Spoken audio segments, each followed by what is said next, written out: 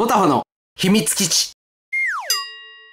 動画をご覧の皆さん、こんにちは。ヲタファです。今日紹介するおもちゃは、これだゴーストチェンジシリーズ GC03 仮面ライダースペクターです。ゴーストチェンジシリーズに、この仮面ライダースペクターがついに登場です。仮面ライダースペクターは、このブルーのカラーリングに角が2本。そしてこのベルトはゴーストドライバー。まあ、おそらく劇中では仮面ライダーゴーストのライバル的な存在になると思います。パッケージのデザインは GC01 仮面ライダーゴースト俺魂と同じですね。背面はこのようになっています。全身18箇所が稼働して仮面ライダースペクターの戦闘アクションを再現できます。あとは何と言ってもこれですよね。ゴーストチェンジ。これちょっと後でじっくりやります。さあ、というわけで早速、パッケージの中を開けます。僕は一度開封しています。中はこんな風になっています。まずはこれが、仮面ライダースペクターの武器、ガンガンハンドです。前回僕がレビューしたデラックスガンガンハンド。それと比べると、この部分が長いですね。これはパーなんで、ロッドモードですね。それからこれ。スペクターゴーストです。こんな風になっています。仮面ライダースペクターの特徴の角はここにあります。おー。これはい、ゴーストチェンジしたいですね。そしてこれがスペクターの本体。本体ちょっとじっくり見ていきましょう。こんな風になっています。このブルーのペイントが鮮やかで綺麗ですね。GC01 の仮面ライダーゴーストの本体とちょっと比較してみましょう。これ色も違うんですけど、デザインも違います。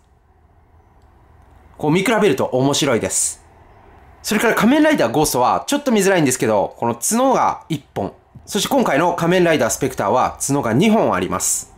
そしてこれは黄色ですね。こっちは白。頭部は同じですね。ゴーストドライバーも同じ。背面はこんな感じ。スペクターゴーストを見ていきます。仮面ライダースペクターのトレードカラーの鮮やかなブルー。これはメタリックカラーでペイントが施されています。オレゴーストと比較します。腕は両方とも同じ。後ろも同じですね。このジャケットのデザインが少し違います。この角が2本で、こっちが1本。ちなみにこのスタンドは GC02 のスタンドを使用しています。さあ、それではゴーストチェンジいきます。やり方は仮面ライダーゴーストと全く同じですね。腕をこの位置にして、フェイスパーツを展開します。スペクターゴーストの中の突起、この2箇所を本体の背中に噛み合わせます。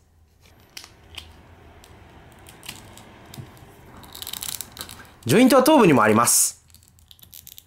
押し込んであげるとはまります。ゴーストチェンジ完了仮面ライダースペクターの完成です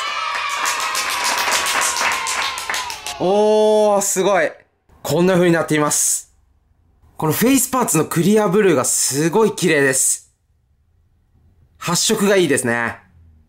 それから大きなこのガンガンハンドのロッドモード。こんな感じです。ゴーストチェンジした後だと、この各部のブルーのペイントがさらに映えます。ちょっといろいろポーズを決めてみます。こんな風にガンガンハンドを肩に担がせてもかっこいいですよね。続いてはこんなポーズ。これ微妙に横を向いてるんですけども、ここの突起をギュッて押し込むと、フェイスパーツとこの頭部のパーツが外れます。それでこの分だけ動くんですよね。こんなのもいいですよね。次はこんなポーズ。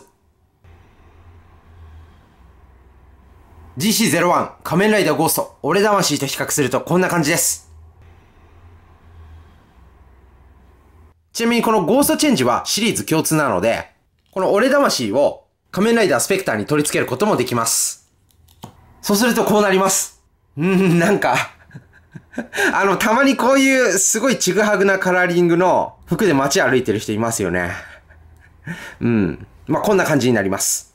そして仮面ライダーゴーストにスペクターゴーストを取り付けたやつがこれです。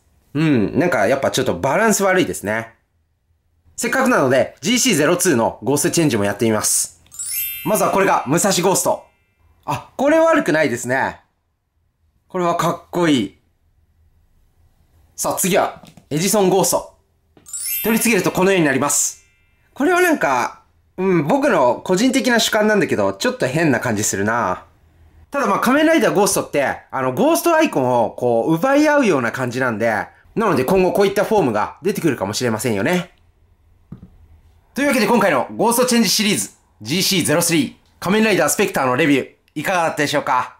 僕がレビューしてる現在、まだ仮面ライダースペクターの大きな活躍っていうのはまだないんですけども、どうやらこの仮面ライダーゴーストの、まあ、良きライバルのような感じになると早くも噂されています。この商品としては、まずこのカラーリングが鮮やかなことと、武器のガンガンハンドのロッドモード。これが大きくてかっこいいです。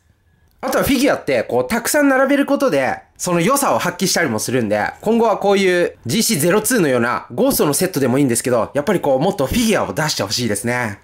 今後の展開がとっても楽しみです。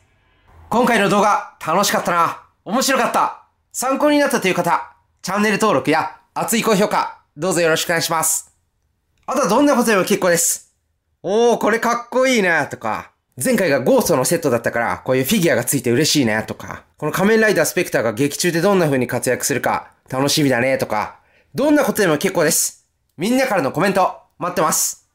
それでは次の動画でお会いいたしましょう。おたわでした。甘いささやきとろけるほどに離さないよ離さないよ赤い空の下で甘美な声もその眼差しも捧げてくれ明日